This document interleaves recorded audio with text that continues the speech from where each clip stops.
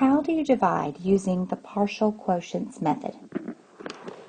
Here we have 569 divided by 4. The first thing I want to do is try to subtract groups of 4.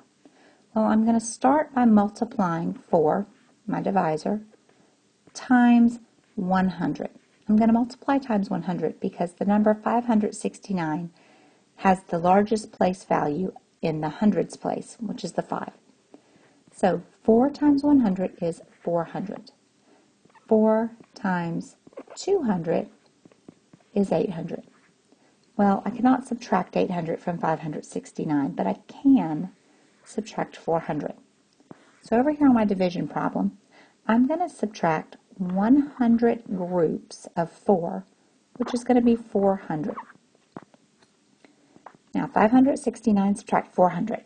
9 minus 0 is 9.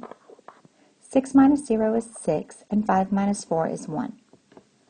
Now I cannot subtract any more groups of 100 out of my 169.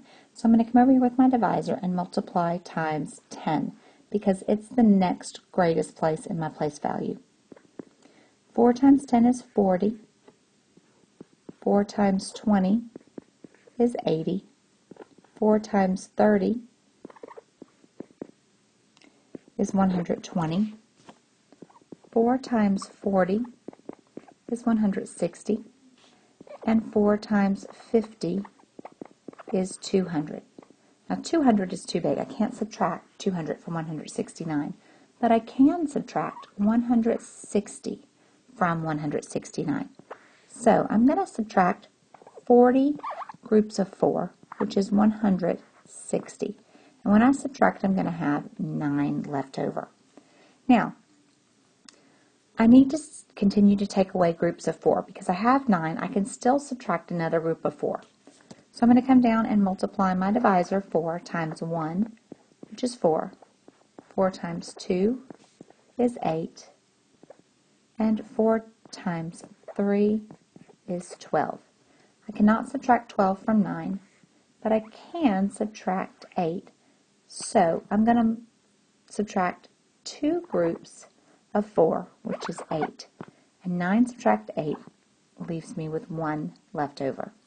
Now I want to add up my digits over here, 100 plus 40 plus 2, to give me 142. And that's actually my quotient, my answer, which goes up here at the top. And the 1 ends up being my remainder. Let's take a look at another problem. Here I have 7,953 divided by 6. With this number, the 7 is in the greatest place value, which is 1,000. So I'm going to start by multiplying 6 times 1,000, which equals 6,000. Then 6 times 2,000, which equals 12,000. Now 12,000 is too much to subtract from 7,953, so I'm going to use the 6,000. So I'm going to take away 1,000 groups of 6, which is 6,000. When I subtract, 3 minus 0 is 3, 5 minus 0 is 5, 9 minus 0 is 9, and 7 minus 6 is 1. Now I can't take away any more groups of 1,000.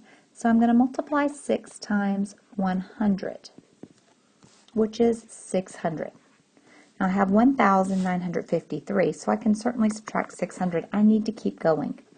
6 times 200 is 1,200. 6 times 300 is 1,800. And 6 times 400 is 2400. Now I cannot subtract 2400 from 1953, but I can subtract 1800. So I want to subtract 300 groups of 6, which is 1800.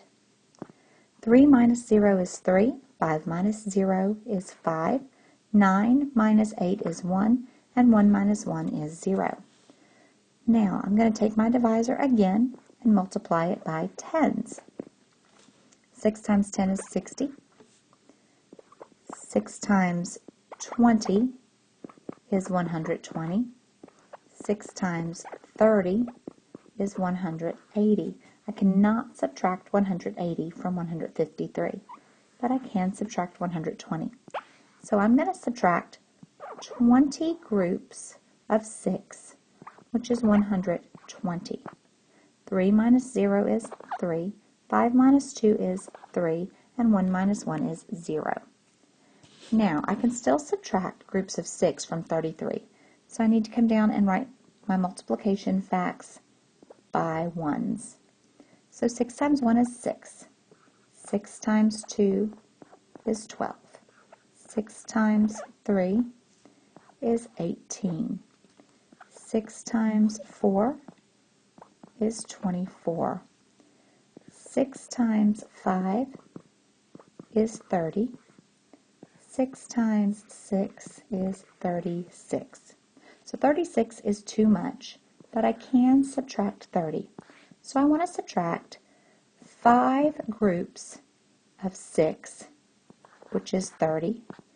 3 minus 0 is 3, and 3 minus 3 is nothing. Now, I've got 3. My divisor is 6. I cannot take away another group of 6. Now I want to add all my partial quotients. So I'm going to add 1,000 plus 300 plus 20 plus 5, which is going to give me 1,325.